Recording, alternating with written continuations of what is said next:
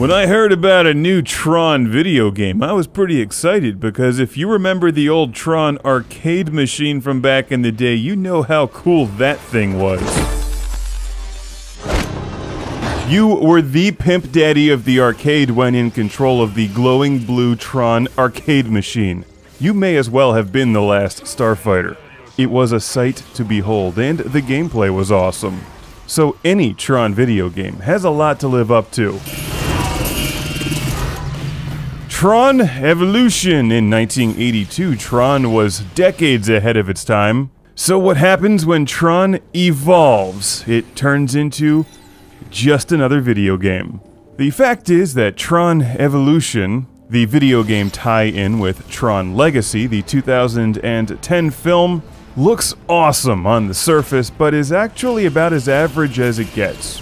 The single player campaign is a decent movie style adventure storyline that sets your hopes up for an action packed adventure at the beginning with some combat, and it's just a gorgeous game all around.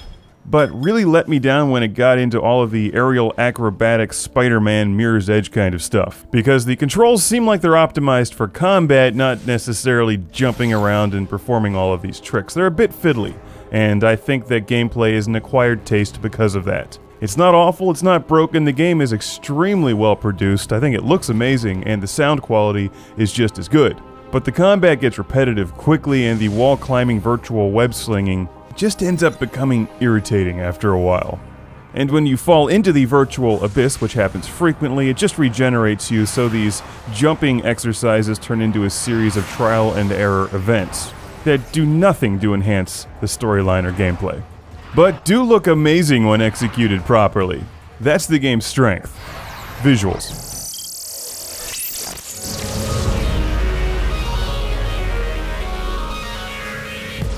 If all you're looking to do is enjoy the storyline and play through the single player campaign, I'll recommend Tron Evolution as a rental or a price drop purchase.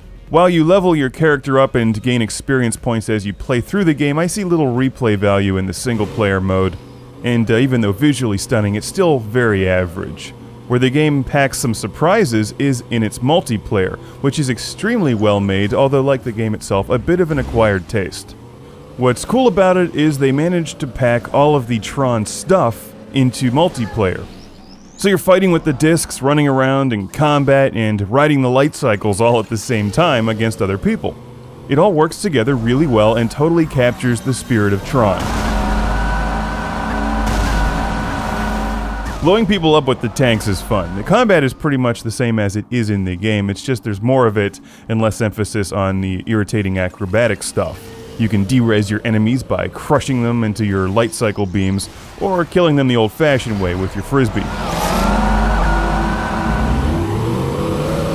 While this new Tron is hardly the groundbreaking game that the original was, it still captures the spirit and essence of Tron, with light cycles, frisbee battles, and glowing people that explode into bits. Sadly, the gameplay and controls don't live up to the awesome visuals, sound design, music, and style, but fans of Tron Legacy or those who think this looks cool may want to give Tron Evolution a shot. Just don't go into it expecting too much. This is new Tron after all. You don't open a can of new Coke expecting Coke Classic flavor.